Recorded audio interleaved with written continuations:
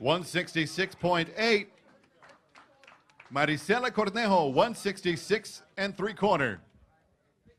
Her opponent, she is the reigning WBC Super Middleweight World Champion, Franchon Crews-Dezurn. This bout brought to you by Golden Boy Promotions in association with Cancun Boxing. 167.6. 167.6, 167, one half for Crews-Dezurn.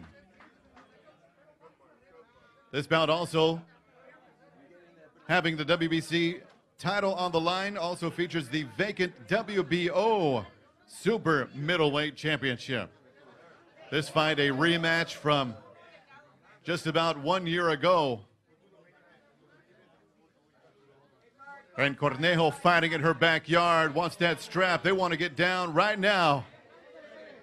Tomorrow night, fight fans live from Dignity Health Sports Park with Beto Duran on hand. Carson, California.